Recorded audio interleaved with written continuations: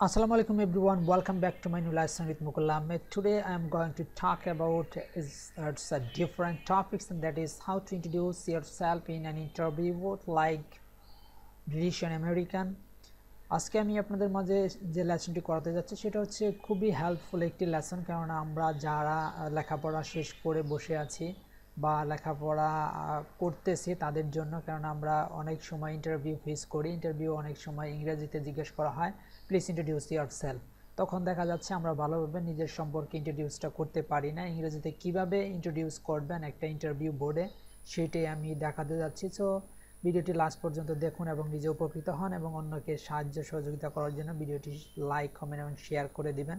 এবং এখনও যারা সাবস্ক্রাইব করেননি please do the subscribe and hit the bell icon যাতে আমার পরবর্তী ভিডিওগুলো আপনি নোটিফিকেশন আকারে পেয়ে যান। যাই ইন্ট্রোডিউস এই পার্ট নিয়ে ইন্টারভিউ বোর্ডের পার্ট নিয়ে আমি দুইটি লেসন করাবো। অর্থাৎ পার্ট ওয়ান আজকে করাচ্ছি, আর এরপরে যে লেসনটা থাকবে সেটা পার্ট টু নিয়ে করাবো। সেটা আমি করাবো যে ব্রিটিশ অ্যান্ড আমেরিকানরা কীভাবে আসলে তারা ইন্ট্রোডিউস করে বাইবা বোর্ডে সেটা।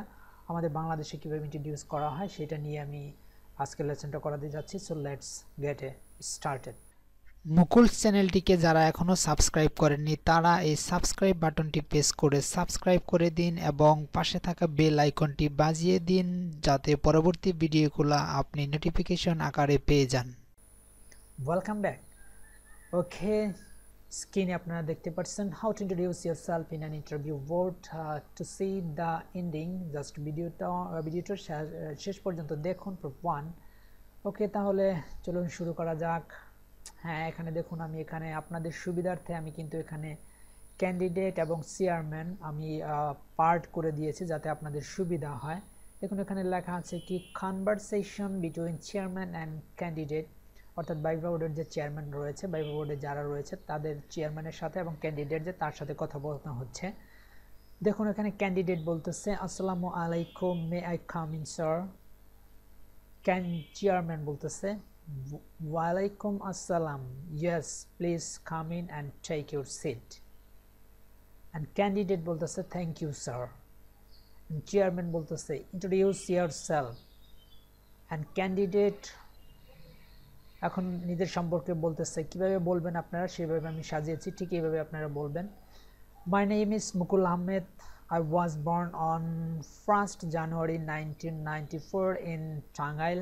My father is a government employee and my mother is a housewife. I have one sister and I am the only son of my parents. I have completed my SHC and HSC in 2010 and 2012 respectively.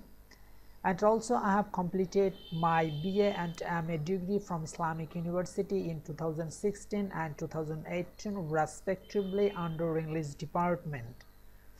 So এইভাবে আপনারা বলবেন smartly বলবেন, তাহলে আপনার যে chairman থাকবে বায়ু বোর্ডে যারা থাকবে, খুবই আপনার প্রতি অনেক সন্তুষ্ট বোধ করবে, আপনারা, আপনাদের প্রতি তারা অনেক খুশি হবেন। এবং তারপরে আপনার যথারীতি কনভারসেশন সে কি জিজ্ঞাসা করে, সেই পরিপ্রেক্ষিতে আপনাকে মাঝে মধ্যে বাংলাতেও জিজ্ঞাসা করবে, ইংরাজিতেও জিজ্ঞাসা করা হয়।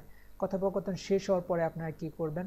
শেষ হওয়ার পরে এক যে চেয়ারম্যান এসে সাপোজ বলবে যে চেয়ারম্যান বলবে okay you may go now candidate তখন আপনি বলবেন কি থ্যাংক ইউ স্যার আসসালামু আলাইকুম সো আশা করি বুঝতে পেরেছেন dear friends and students what am trying to say exactly I want to say this is the part one for introducing yourself in an interview board এটা ছিল পার্ট ওয়ান ইন্টারভিউ বোর্ডের জন্য কীভাবে নিজেকে উপস্থাপনা করবেন সুন্দরভাবে এবং বাইবা বোর্ডে আপনি নিজেকে ইউনিকভাবে উপস্থাপনা করবেন যাতে আপনার জবটি হয়ে যায়।